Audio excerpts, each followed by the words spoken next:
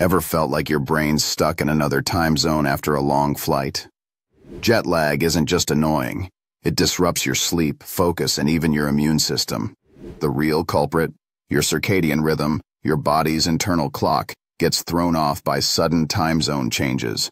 According to the Mayo Clinic and Harvard, this can lead to days of grogginess, mood swings, and digestive issues, but you can reset your rhythm fast. Here's how.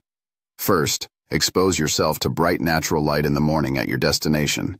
This signals your brain to adjust. Second, avoid caffeine and alcohol before bedtime.